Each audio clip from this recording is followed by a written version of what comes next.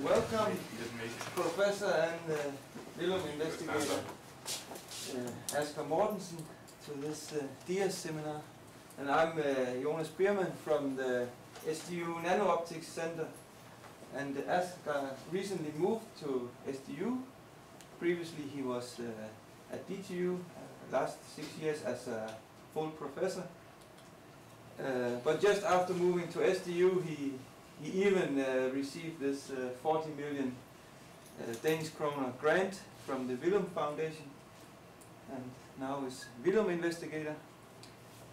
And uh, already has uh, more than 230 uh, peer-reviewed international uh, papers and uh, H-index 44. And impressive, it's um, six 6,300 citations already.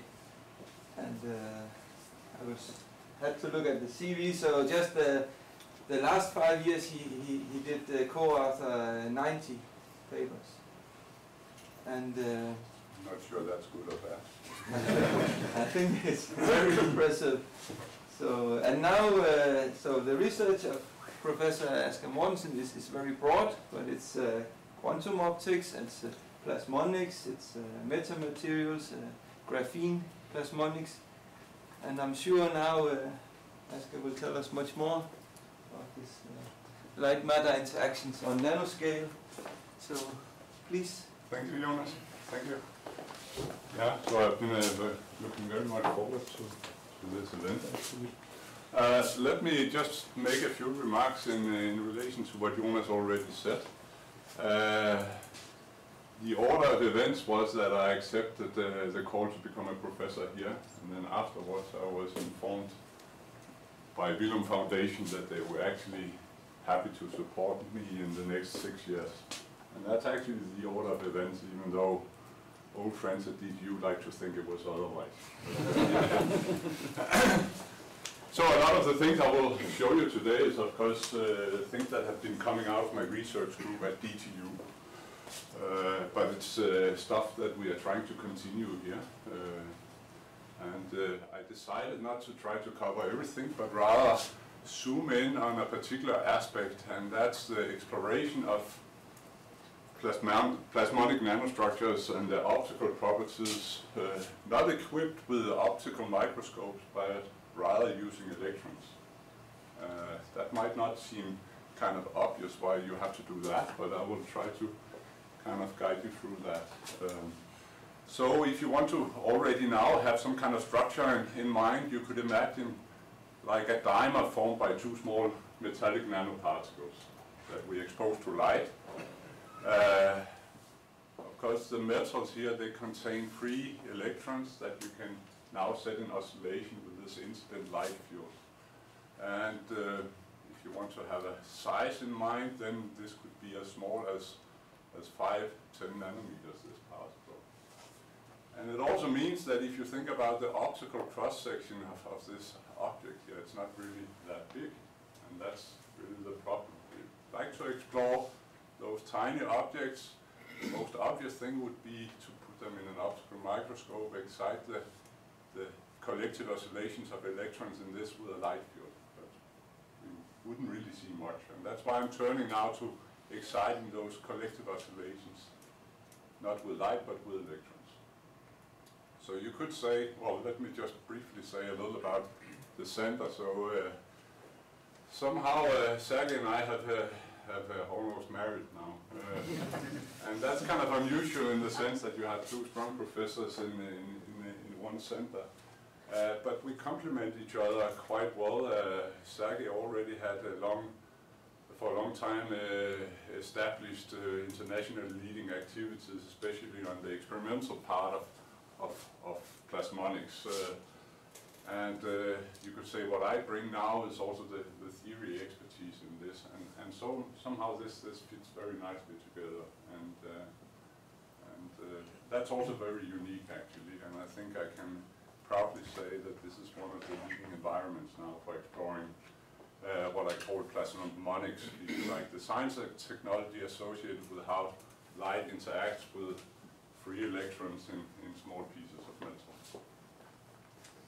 It's very much basic research that we are conducting, and uh, that we could only do, we can only do because we are generously supported by both the European Research Council and now more recently by the Villum Foundation. And it's kind of, it fits very nicely with the idea of DIAS because all they want us to do is to do curiosity-driven research into to this topic here. Uh, they just expect me to do something excellent, uh, and in fact, they even encourage me so to to to maybe even rethink if this is really what I like to do, or if I would do something else. I mean, you probably got the same message, right? Uh, so it's it's uh, it's uh, really rare these days that you get this opportunity, and I'm of course humbled that I'm given this opportunity. Okay, so here's a brief outline of what I could have done. You could say, why, why bother about light matter interactions of nanoscale systems? I should give some kind of introduction for that. Uh, why not simply explore those kind of optical phenomena with a light microscope? And you could ask, how would electron microscopy here? Now I decided that this is maybe not the order I want to go. I will rather try to do something I haven't done before, give you more like a chronological approach to this, taking you back to, to the first invention of the microscope and then go step by step. So I will, uh, I will uh, show you one of the first microscopes. I will discuss how we can, of course, think about light as a wave phenomena and how that, of course, also limits the possibilities of what we can do with those microscopes. I will uh, discuss something called particle wave duality in, in, in, in uh, quantum mechanics, which actually allows you to rethink what a microscope could be and what kind of waves you can use in the microscope. It allows you to actually do the same things you can do with optical microscopy, but now sending in not waves of photons, but waves of electrons. Uh, I will show you how that was historically leading to the first observations of what I call plasmons, this collective oscillation of electrons in conducting media-like metals. Uh, and then uh, I will give you the more modern version of this, uh, how this is looking if you go now to, to metallic nanostructures. Uh, and then finally, let me get back to why we are so kind of excited about this field, where this could potentially lead. Uh, so I hope I have time. So here you have Robert Hooke, this uh, handsome gentleman who, uh, there are no photos of this guy of course, but somebody made this, this painting. Uh, he is actually quite a genius and he, uh, he kind of published the first book where you find something that looked like a microscope. Uh, it's called micro, Micrographia and uh, and basically, he, he showed, he devised how to, how to make a microscope that can image like small insects.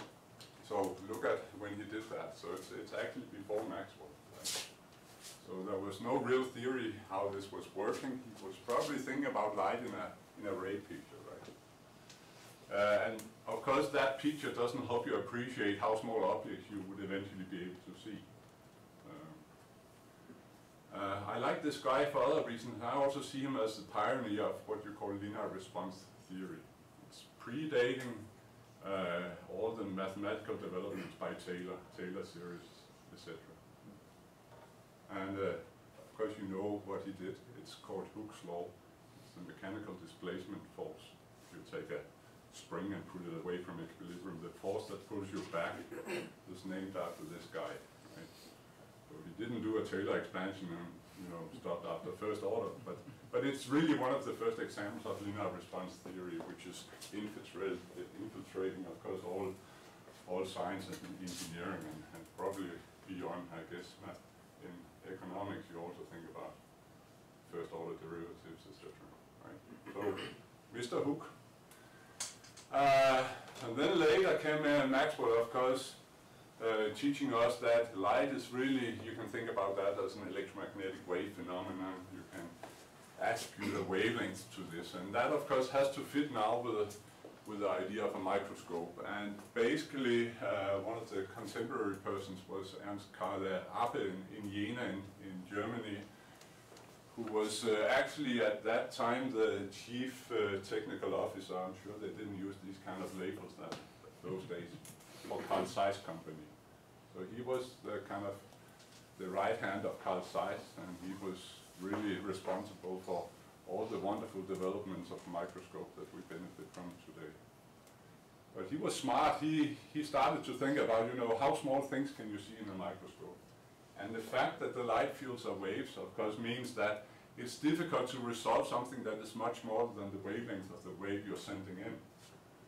And if you like more technical terms, you have this diffraction limit.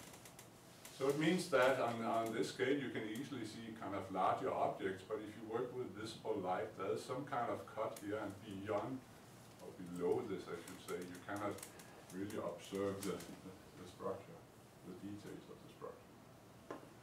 And some of my systems, they are also belonging in, in, in this size regime here. And that's why we have to turn to other kind of techniques to really explore what's going on in the near field of those uh, metallic nanostructures.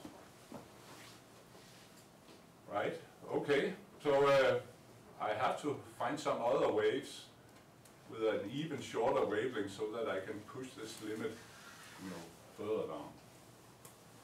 Uh, so let me stop here with this guy, Louis de Broglie. He was uh, quite a bold guy at that time. He kind of more or less suggested that if you had a particle, it could also have wave properties. Imagine the kind of resistance this must, must have met at that time.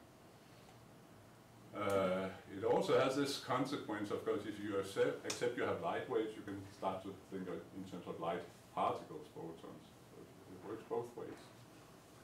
Uh, but he more or less attributed now an effective wavelength to, to, to a particle which has a momentum uh, p, and h is h bar.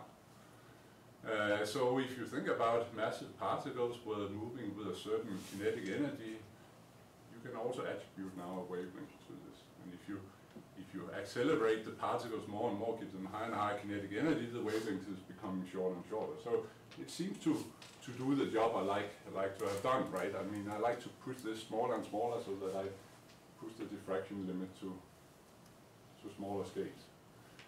Uh, okay, so the, the, the, basically the key experiment that can prove that, for instance, electrons actually also behave as waves is to, to do some kind of experiment you would normally do with waves. And so why not do like an interference experiment where you send in now beams of particles on, in this case, a, a double slit, uh, and then you look at what happens to, to those particles on the other side.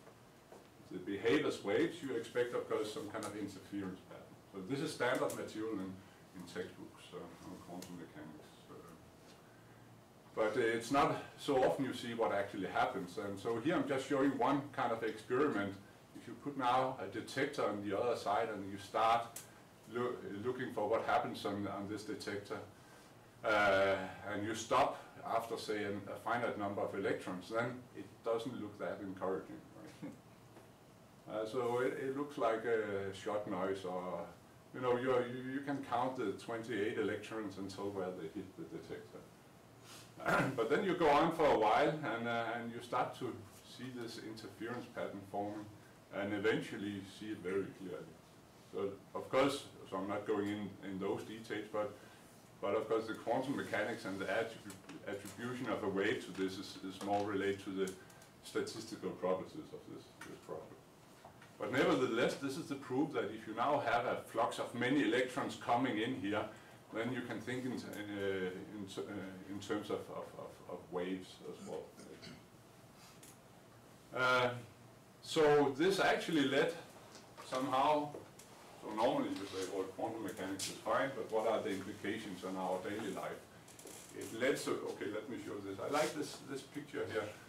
It's, uh, I don't know who the artist actually is, but uh, you see it starts being, being particles up here and you have waves down here, and I think at least it's one illustration of this duality.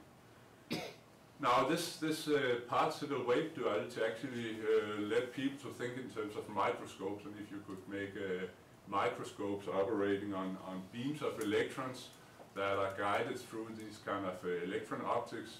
So you do more or less the same as you do in a conventional microscope and, and uh, it actually works. Uh, the take-home point here is that since the wavelength depends on the energy, you can just accelerate the electrons to higher and higher energies, you get smaller and smaller wavelengths, and so you can focus this to smaller and smaller spots. So of course there's still diffraction limit, but but you can easily, or easily I shouldn't say, but you can you can you can accelerate them to 100 kilo electron volt, and then you start to enter the atomic regime where you can you can resolve things on the length scale of atoms. So imagine the revolution this has created in material science, etc. Uh, so during the lunch break, I just checked the announcement from uh, from Stockholm. It turns out that the prize in chemistry actually went for further uh, use of electron microscopes. In this case, they are, well, you can read here yourself. Can also look now at solutions of biomolecules if you if you do it in a cryogenic environment. So it, it keeps being a very active research field, and it's also being recognized even in Stockholm. Okay, but uh, you have to read more on this, it's, it's brand new. Okay, so let me show you how a, a state-of-the-art microscope uh, look like uh, these days. So, uh, some years before uh, Mærsk Mc-Kinney Møller unfortunately passed away, he was visiting DTU campus and he was, so he was walking around like this. He, uh, he announced that he would like to have a visit, but he didn't really tell what, what his agenda was. And then uh, at some point he stopped and said, I would like to spend some money. and, uh, and then, of course, he had full attention. At the end, he said, I'd like to spend like 100 million Danish kroner on the condition that uh, whatever you do with this, uh, you have to be fast because I'm getting old and I want to see this inaugurated before I might pass away. Uh, so clever people sat down and decided that they should uh, create a center for electron nanoscopy where they would put a full range of different electron microscopes into this building. And one of them is a state-of-the-art uh, FEI Titan uh, transmission electron microscope. So more or less the one that Ruska uh, came up with, but, but brought up to, to, to modern standards. And it's equipped with something that we call electron energy loss spectroscopy that we are using uh, directly in our research, and I will tell more about that. But of course, this facility is key to, to really doing much of this research, and, uh, fortunately, I still have access to this this facility because it's not something you just move here, right? and it's. Uh, well, I didn't even bother to ask uh, our president for money for such an instrument, but maybe I should have done. Uh, But uh, we will, we will, uh, we will install some complementary equipment here at SDU. Um, So this is just giving you one feeling for what you can actually see with such an instrument. So it- it's a substrate with, with silver uh, metal nanoparticles. Uh, At first, this might not look so impressive to you, but look at the length scale here. Uh, So this is like five nanometers, so some of them are only of the order two, three nanometers in size. Uh, So definitely they're invisible to the naked eye. I wouldn't uh, gain much by putting them in the optical microscope. Uh, On the other hand, they are still containing hundreds to thousands of atoms. Uh, You might say, well, uh, why didn't you bring a a decent picture? It looks quite noisy. Uh, Actually, uh, the noise is not really noise, but uh, it's, it's actually indications of the individual at, atomic columns in, in those particles. Uh, so we didn't push this to, to the extreme in terms of resolution, but you already start to see that, that with this high energy, which is like 100 kilo electron volt, you, you start to be able to, to enter this, the world of atoms with those instruments. Uh, So by the way, uh, this building doesn't look so impressive, but there's much more under, underneath. Otherwise, you cannot have the atomic resolution. So you could say you just dig a big hole and then you start putting money into this. Right, so those are some of the, the particles I like to explore. I like to explore what happens when I expose them to light or if I excite them now with beam of electrons. Uh, so let me talk a little about what, what plasmons are. So uh, we work with metals, which also not all the funds came through, but anyway. Uh, we work with, with metals which contain uh, a gas of free electrons. That's of course why, why, why they can conduct a current, right? So it could be copper, it could be silver, it could be gold. Any, any metal would, would, would, would work fine. Now this gas of electrons can of course be put into some oscillation, right? It's a little like if you have now a gas of atoms, you can have pressure waves.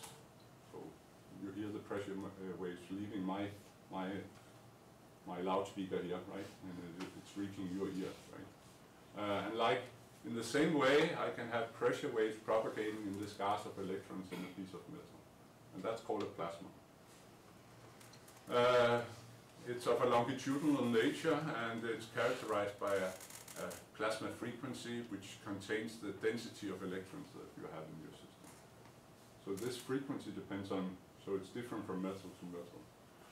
Uh, you can also have another kind of excitation. So here I'm showing it for, for finite nanostructure. In this case it's a dimer. Uh, the gray kind of cloud here is this cloud of electrons that are now displacing from my, my, my equilibrium position. So of course I like to sit and screen all the positive charges of the background of this metal. So in total it's charge neutral of course. But imagine you displace this electron gas back and forth, then you have an oscillation. And Coulomb forces will try to pull it back, so it's, well, you can start to write up something that start from Hooke's law actually, right? You get a harmonic oscillator with a restoring force, so there's a resonance frequency. Now this is the classical picture where I treat this gas as a rigid body, so it's just moving back and forth, but I cannot, it's not being compressed uh, in, the, in this picture here. And that's some of the things we are very interested in, to, to look beyond this kind of rigid body description. Uh, and that's where you enter, you need to make like a quantum description of, of, of the metal to account for the finite compressibility of this electron. So there are some quantum aspects that will eventually enter, and we are right now curious what will they do and, and when will they actually matter. Uh, you can see this phenomena in a large number of material systems, so, so we are mainly working with noble metals, but you can also think about semiconductors which you dope so that you have finite number of carriers. You could even go to some of the new low dimensional materials, nanotubes, graphene, etc. And if you come from the other side, you could even start to think about macromolecules if you now dope them so that they have a finite number of, of electrons in addition to, to those just making the molecule neutral. Then you can probably also set those electrons in some kind of oscillation and, and people are kind of calling this molecular plasmonics. I'm not really sure it's kind of controversial, but there are some, some of those effects even in macromolecules. Okay, so now you know the basics of what a plasmon is, and it's these kind of oscillations I like to probe. Uh, it's clear that if I come in with a light field here, then the, uh, the light field has an electrical field in it, right? So that will act on, a, on, on charts, uh, charges, right? So that's enough to actually set this oscillation in motion. But I could also come with a beam of electrons, and that would of course try to kind of squeeze the electrons of the metal away. So that's another way to also excite those kind of oscillations. Uh, this woman, I actually think we should add her to some of our posters. Uh, she's very important to both math and, and physics and engineering. Um, so Emmy Noether, she figured out that conservation laws in physics, they relate very much to symmetry properties of, problem. Uh, and the one I just want to emphasize here is that if you have somehow time invariant, so if you look like a continuous flux of light or, of or electrons coming in. And so I can study it now, I can study it five minutes later, but it doesn't matter. If you have this time invariance, then it also implies that in your system you have conservation of energy. So that's, that's of course a principle that we are all kind of taught, at least in physics and engineering, but it, where it actually comes from is, is from these kind of symmetry uh, considerations. And there are same things for, for momentum conservations, etc. But energy conservation is important for what I will show you now. I will uh, basically sketch here how you can now do what I call electron energy loss spectroscopy. So the principle is that you send in a beam with a certain energy here, so you accelerate electrons to a certain energy, and then you look at the other side, you look at the electrons coming out on the other side, and then you decide what kind of energy do they have. And of course, because of this energy conservation, all the the processes where you just scatter elastically uh, on this kind of medium you have here. uh, you have the same energy on the other side. Uh, so in a spectrum where you have the, the lost energy, so the energy difference between the stuff entering and, and leaving, you have a big peak at zero. It's all the boring electrons, right, where nothing really happens.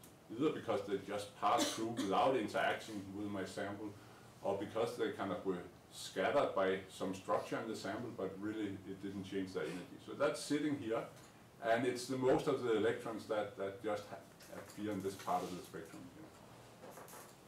So not every electron will interact with my nanostructure, it's only a few of them.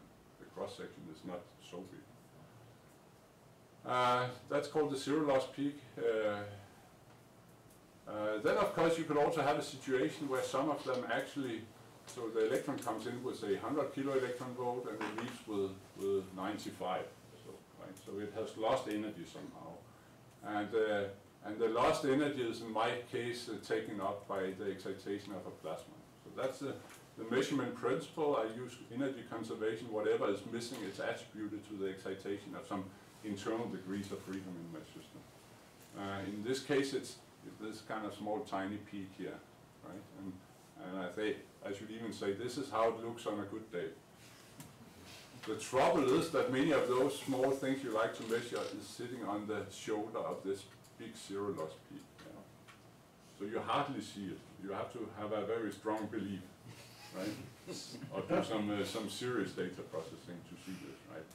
And that's of course also where it's becoming, I mean, you have to know what you're doing, what you're looking for. Uh, now, if it was only like this, it would be awesome, but there are all kind of other processes also. And they all serve to broaden the zero loss peak, etc. So, uh, and uh, there can even be at very high energies, you can start to see transitions that, that are associated with the more uh, transition of, of strongly bound electrons in, in the atoms. So I'm not really interested in, in this up here, but that can be used to actually decide what kind of atoms are we, we looking at. Uh, but I will focus on the low energy part here down, say from 0 up to 5 electron volts. Okay, so uh, it took a while before that was being used. I mean, there was uh, theory discussions by, by, by Pines who, who, who suggested that if you have now a piece of, of, of metal supporting this gas of electrons, then there could be these collective oscillations where all electrons are oscillating back and forth in phase with each other. Uh, but it was only, and there were, there were some experiments done with this uh, uh, EELS, but it was only when Ritchie he actually sat down and, and did some careful uh, analysis of data that he, he realized indeed what we see in those experiments are the excitation of such plasmas. So this is very much considered the key paper, and you see for a long time there was of course some fundamental interest in this, but it was only more recently say in, in, in the past uh, 10, 20 years that this took off with the new kind of developments of, of metallic nanostructures made possible with the developments in nanotechnology, that this really took off. So it became kind of a standard paper in this field. Uh, so unfortunately he passed away this summer, but I, I think he's a major figure in, in, this field. I'm not sure he ever attended many conferences, etc., but, but he, he did absolutely critical work back in, in, in the 50s. Okay, so this is how the structures look these days that we try to explore with this technique. And, and I hope you get a feeling for, for how small length scales we are actually uh, now uh, manipulating and where we also have to kind of resolve now the, the optical near fields. This is work from my friend Bert Hecht in Würzburg, where they have uh, metallic nanoparticles brought together with some self-assembly process this is showing a close-up. Uh, basically, you have a gap from one particle to across uh, a gap here, separating the two particles, which is only like one nanometer. You even see the individual atoms. You have perfectly atomically flat interfaces, etc. And this is where you would kind of like to analyze your data with classical electrodynamics, and it's not really obvious that this is a, a good approach or how good it would actually be. And that's part of, major part of my research to actually figure out how far will classical descriptions uh, work and when do we have to start to account for the quantum mechanical aspects of this, this system. And since you start to see the atoms, it's of course an indication that one should expect classical approaches to fail eventually. So I'm not gonna go in detail with that, but there are some surprises in that. Uh, this is another piece of work from, uh, from, uh, from Singapore, uh, Joel Yang, who, who fabricated, in this case it's bow tie uh, antennas, but with small gaps here, only a few nanometers across. Uh, and this is work coming out of, of Sergey Bozhevolnyi's lab while, uh, before I entered and, and also from a collaboration where we have metal surfaces where we, we make these very deep narrow trenches uh, in the metal and down here you only have cannot really resolve it with this picture but you should imagine you only have a few nanometers from one surface to the other. Um, uh, so it's these kind of structures that also call for special techniques if you really want to see what happens in the near field of this. I can of course shine light with my with my laser and I can look in the far field what are the consequences. Uh, there might not be much response but I could still tell something but if I really want to understand what happens in the near field I, I need these kind of new more advanced techniques. Um, this is a small diagram actually telling you what you could expect by working with different optical and, uh, and electron-based techniques.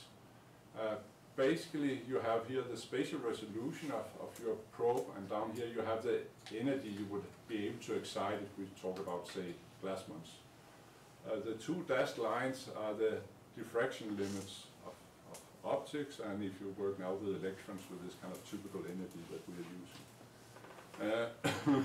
Uh, So definitely, I mean, there are things we cannot resolve, but since this dashed line is much suppressed, you see with, with this electron energy loss spectroscopy working uh, with a few electron volts, you can almost get to the resolution where you say, well, now I can start to see atoms, right, or groups of atoms. Um, so this is what we will do, and uh, here's my first kind of example of, of early research we did. So it's not really that extreme, the, the, the, the wire, but it's still uh, much smaller than what you would be able to resolve in a, with a microscope. You should think about this as a wire now supporting these these free electrons. You can you can make this soup of electrons oscillate in different ways. Um, so this is something you probably all experienced uh, if you have it in a mechanical system like a string you fix one end of the string, you start vibrating the other, and if you do it with the right frequency, you can form these kind of standing waves. If you haven't done this, go home and do it, nobody will make fun of you. It's great experience. You can do it with your kids or grandchildren, don't mind them. But it's exactly the same physics I like to explore now with electrons inside this wire here. So I put it on a substrate, I stick it into my, my electron microscope, I crank up the energy so that I get the good spatial resolution, so I have roughly 100 kilo electron volts. And then I try to figure out how much energy I lose to the excitation of those, those waves. Now the beauty of this is of course that you expect to see this, but I guess uh, you should always do the experiment. Right? This is how we, we learn new things. Either it confirms our line of thinking or you, you learn something new we shouldn't just rely on solving Maxwell's equation and deciding this is probably like this, it's good for me, I don't need to see what it's like in the real world. So we, we went there and this is what you see. Uh, how many of you think this looks like a like some numerical simulation? Uh, there's at least one confessing over there. Right? Uh, it's real measurements, guys. This is what you can actually see once you start to analyze your data. And you can see the different standing waves, you have more and more nodes here, etc. Right? It's exactly this physics that I anticipated with my mechanical system. Uh, with this, we can even now measure what is now the wavelength of this. we can decide what the energy is. We can figure out all those dispersion relations for the plasmons. Uh, we don't have to rely on, on solving equations. You can, you can simply go and measure here. You can even get new information about what happens at the ends of this wire that is difficult to figure out if you just try to, to, to do the theory for this. Okay, so it's to a large extent confirming what we, we kind of expected. Uh, let me shift gears to a structure that is much more advanced. Uh, it's one of those grooves, so imagine a big piece of metal with a groove written in it. Uh, you would like to send now a beam of electrons down this kind of valley, right? And that's of course easy because the electrons they move on a straight line. And uh, you like to think, of course, I can just uh, write a, a straight valley. Uh, that's not how it is if you turn to the nanoscale. This will be a, like a, a curvy line. And uh, so if you want to pass an electron through, you should, you should take now a slice of this material. So I have, have this material, I have the line, and now with some approach I try to cut a very thin slice of this. Once I have the slice, I stick it into my electron microscope, then I can pass an electron beam uh, down, down this valley here. Uh, so Tobias Holmgaard, who was a postdoc in Aalborg, he, he actually did that. When I say slice, it's really a thin slice. It's like 150 nanometers. So imagine how fragile this, this is. So Jonas, you're smiling, you were closer to this experiment, but, but it's, it's really not easy. Uh, so you slice it, then you find a way to get it from Aalborg to DTU without breaking it. And then you stick it into the microscope, and then you do this experiment where you're, you're passing now electron beams through at different positions. And since you only have a thin slice, you can actually go pretty deep in this trench here. And basically we are mapping here how the plasma energy, so I'm not going in detail, but basically it depends on where you probe this now. So you can really, with very high spatial resolution, both image the structure, but also image what happens to the plasmons in this, this system. Uh, so this is giving you some kind of perspective of what you can actually do with those techniques. I should say that this is not going to replace optical spectroscopy. If you can get away with just measuring with optics, you should do that. This is, this is really a nightmare, but, but it can be done and it can give additional information. And one of the key things you get access to is, is other plasmons that you don't probe with light. So light will only excite, if you like, oscillations which have a dipole moment. It has to put positive charges somewhere and negative charges somewhere else. And then this you can excite with a plane wave that comes in. But if you have other kind of arrangements, you can, for symmetry reasons, be in a situation where you don't see things with light. Now that doesn't mean that those, those solutions don't exist in my problem. So in general, think about a, a situation where you have an, a number of different solutions, eigenstates in this problem, right? And what you actually do is you probe a superposition of them. And light only selects certain of them. That's called the bright states. But with electron beams, you can get access to all the, the dark components as well, those that don't respond to light. And for our research in quantum plasmonics, this is super, super interesting actually, because we don't excite this, those structures with light from outside, but rather you could imagine I want to put a quantum emitter now here. Some small kind of quantum system that can emit light. And that can actually probe all these other, other superpositions of my eigenstates as well. So if I have some very lossy solutions that I don't see with light, then it doesn't mean that they are not important. They would actually be a drain for energy if you think in terms of putting meters in the near field. Right, this is another experiment we did recently uh, with my former student Søren Raza uh, in collaboration with Stanford. We decided to look into the wave guiding properties of, say, very uh, narrow trenches uh, written in a, in a film of metal. so it's plasmons that could say exist at uh, visible or slightly longer uh, wavelengths, and still you can squeeze it into these kind of narrow trenches, which are in this case only like 25 nanometers across. So you can you can put this optical energy into plasmons that occupy this tiny space, even though they have energies matching, uh, say, visible light. And so what we showed in this experiment was again, if we now probe those plasmons with beams of electrons, we can see how, how the, the light here can go around corners. You can even kind of cross these kind of junctions. So this is becoming like building blocks for, circuitry, not for electrons flowing around, but for light flowing around on those landscapes.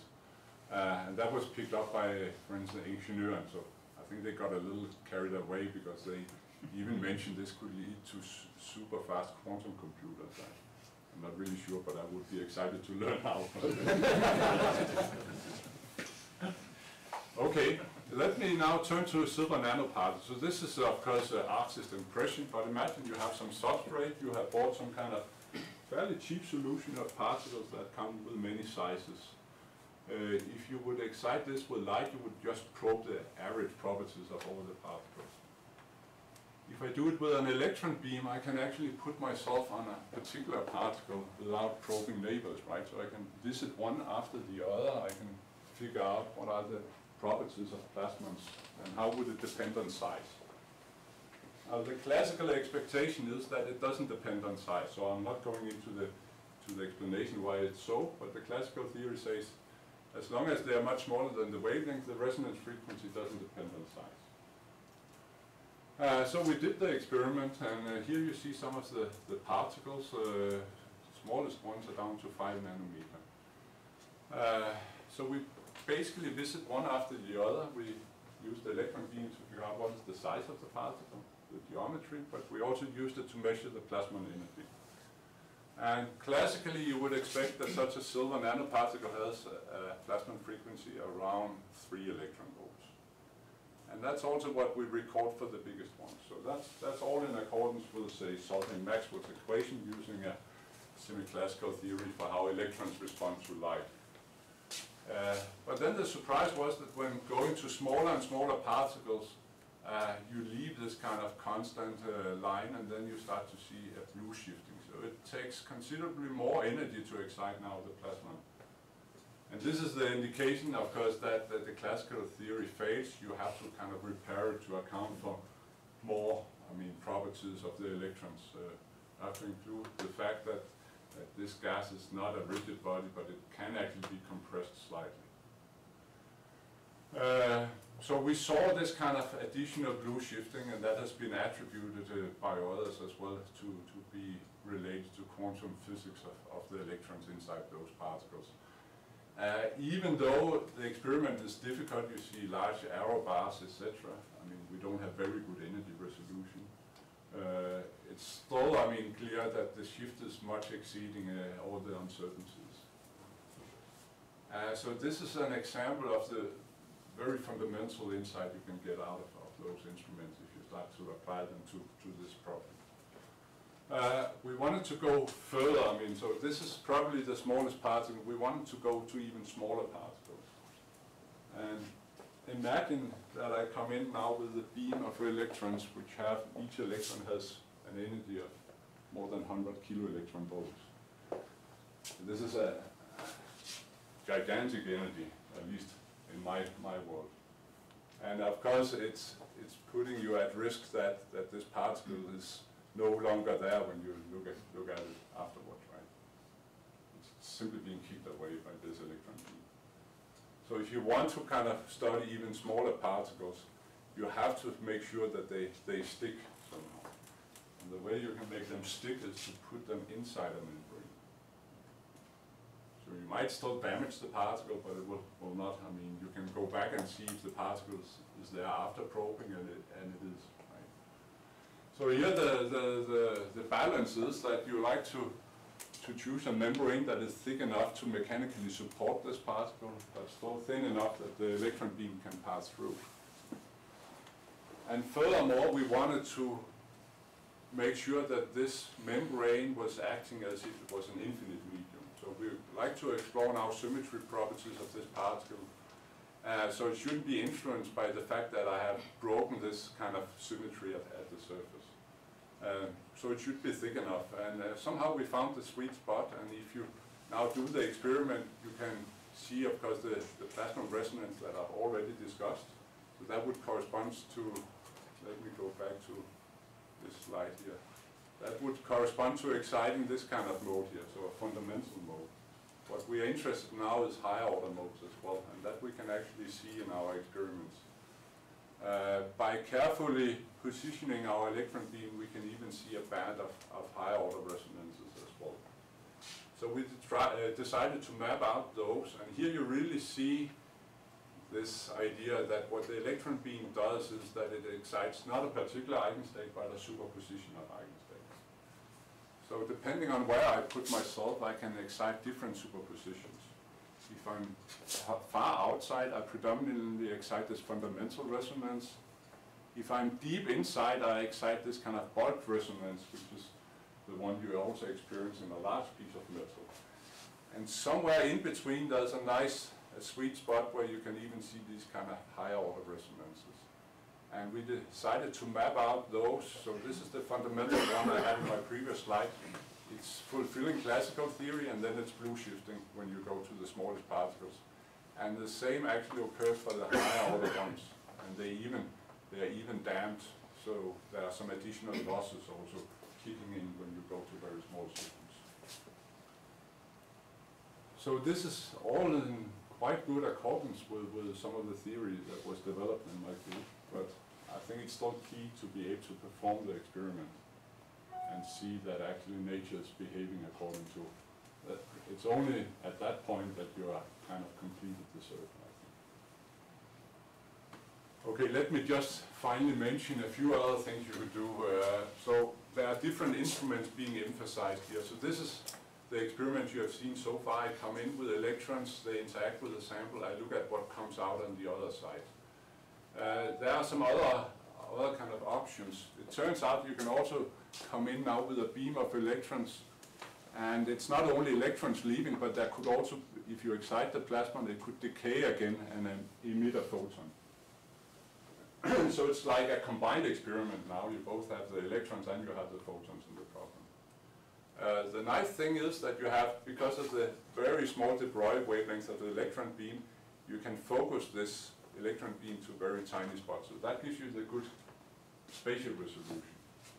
Uh, we don't have very good energy resolution when, when they're looking at the electrons leaving.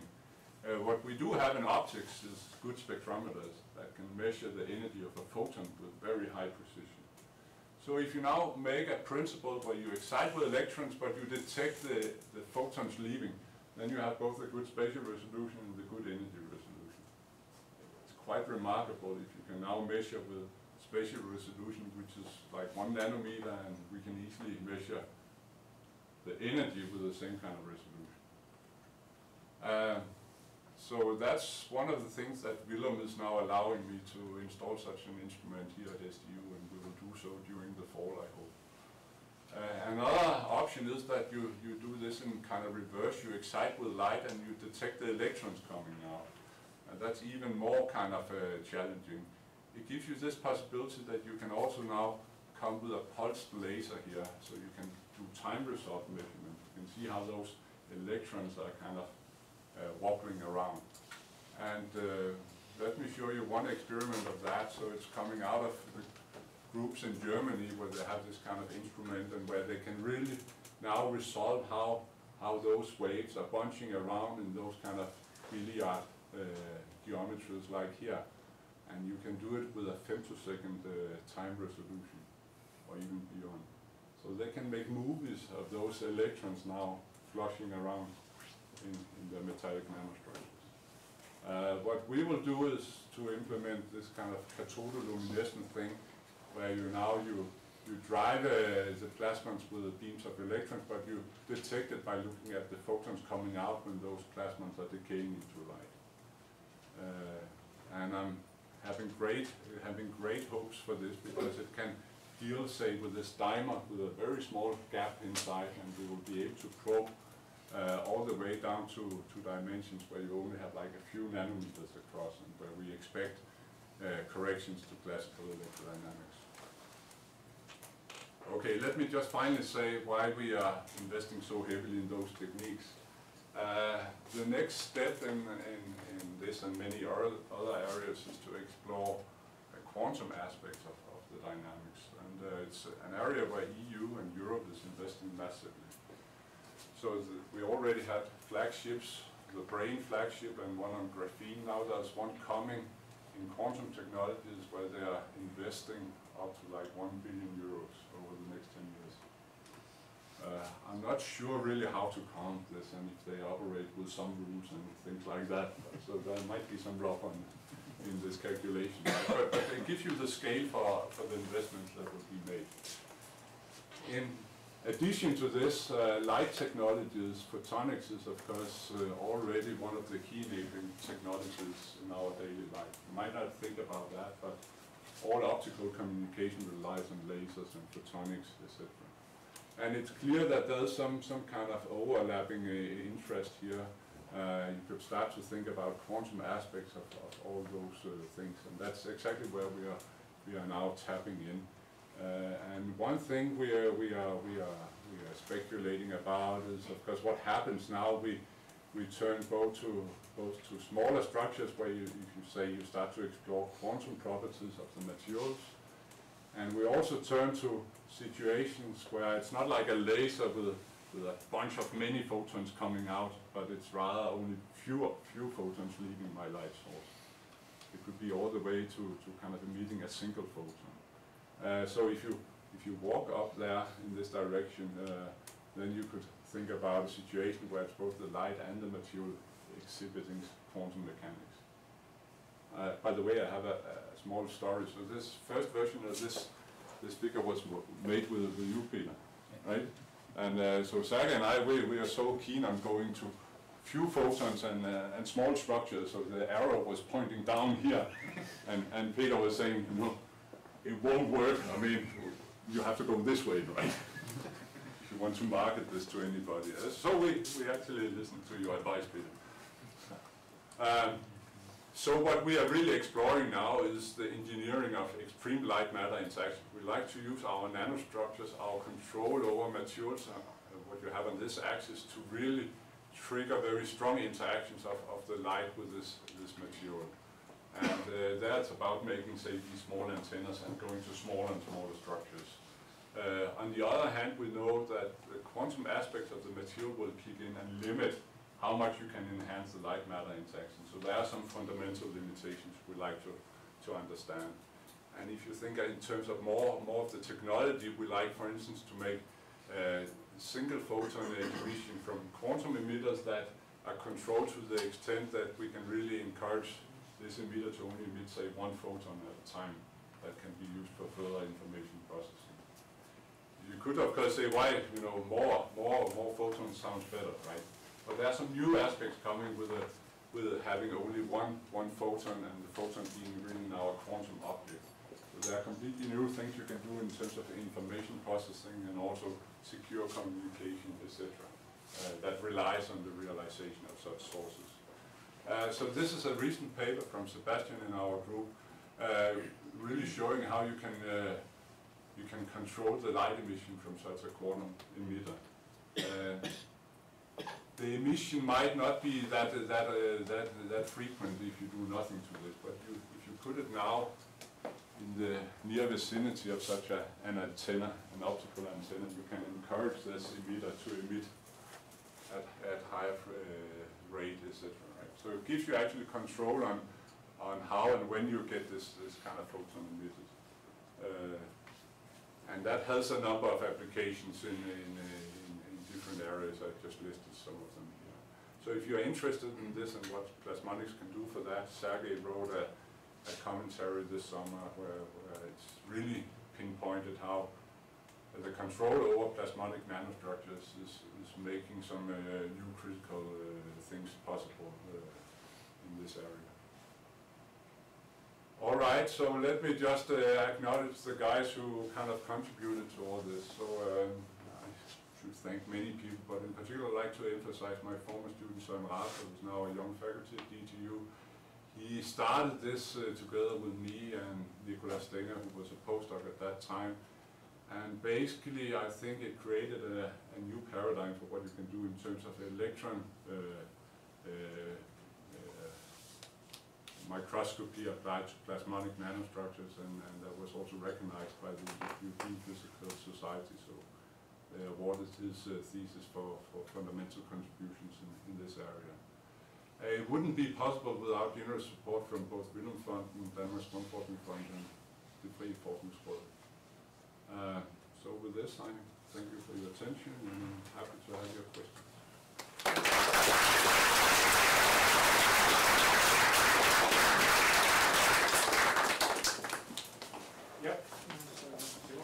Thank you a lot for, for your talk. So I have one uh, naive question. I'm from Torbian's group, so my physics knowledge is from buildings.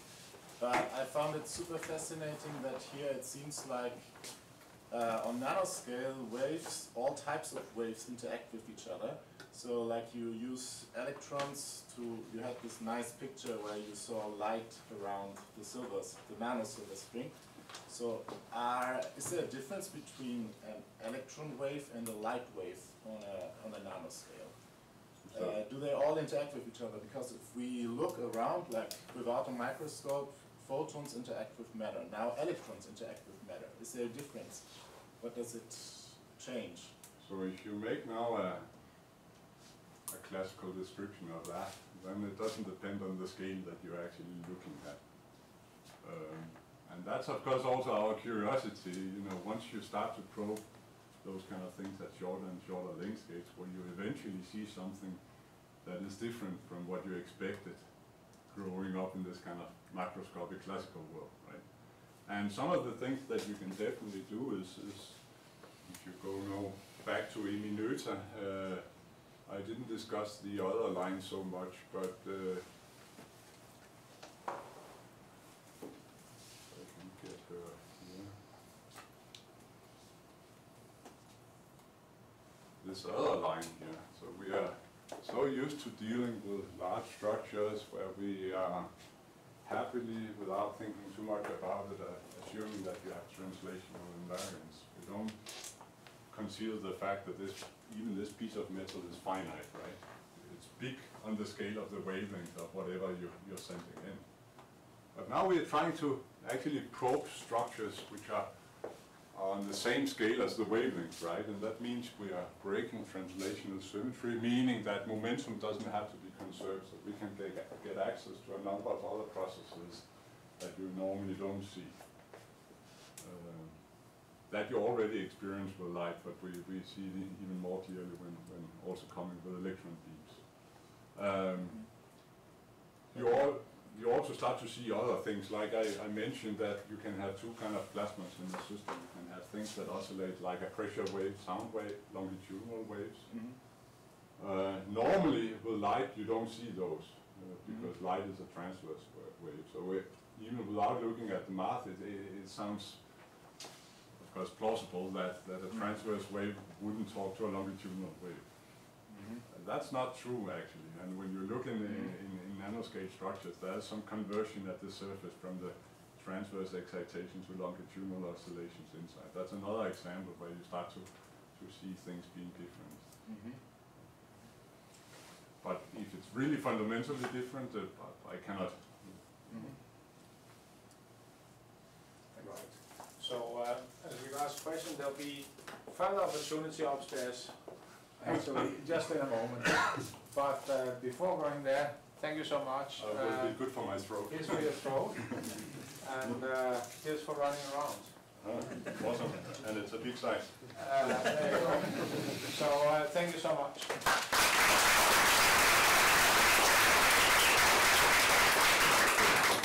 And, uh,